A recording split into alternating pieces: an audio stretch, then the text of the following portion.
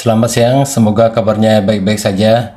Di video kali ini saya akan membuat tutorial cara pergantian kain dalaman untuk gorden atau kain vitrase. Karena ini gorden yang dalamannya ini yang punya saya yang di rumah saya ini sudah pada rapuh dan sudah bolong-bolong juga. Di sini saya akan menggantinya untuk yang di ruang tamu dan untuk di kamar atas. Karena ini juga yang di atas. Gordennya seperti ini. Model kecil-kecil gitu. Untuk membukanya tinggal dikendorin dengan obeng plus di bagian ujungnya itu. Nah tinggal ditarik seperti ini. Kemudian kordennya tinggal ditarik maka dia akan lepas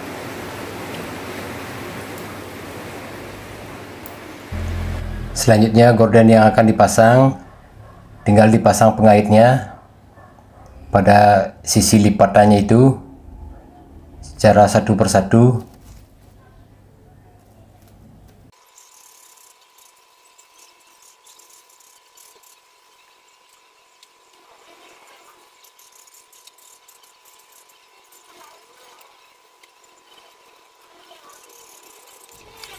kemudian tinggal dipasang bearingnya satu persatu untuk nanti mengaitkan besinya.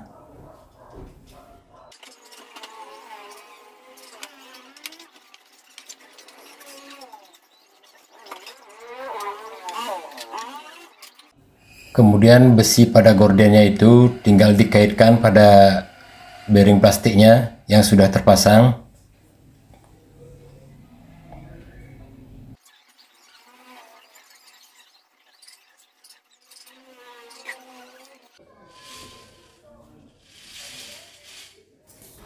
setelah dipasang hasilnya seperti ini.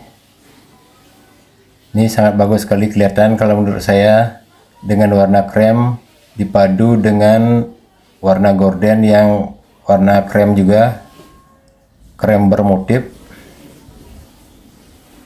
Seperti ini hasilnya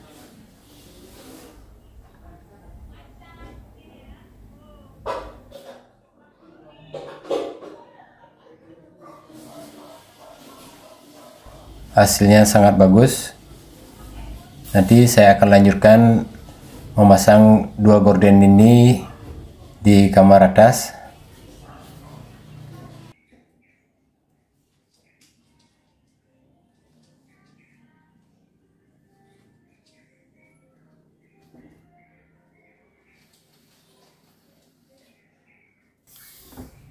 Membukanya di sini juga sangat mudah tinggal ditarik pengaitnya dari bearing plastiknya.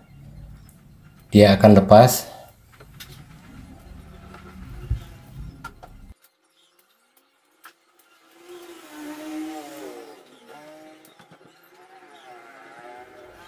Proses pemasangannya sangat mudah. Tinggal dikaitkan besi pada bearing plastiknya atau kebalikan dari proses membukanya tadi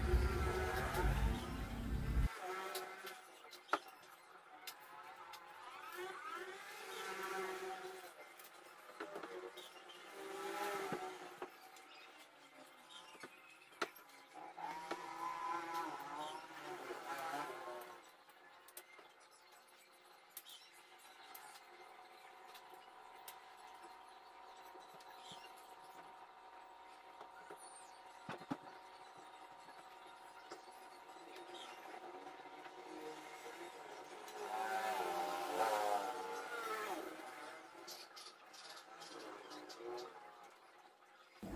Dan hasil akhirnya seperti ini sangat kelihatan bagus sekali cocok dengan warna tembok yang putih dan warna gorden yang isi bunga-bunga.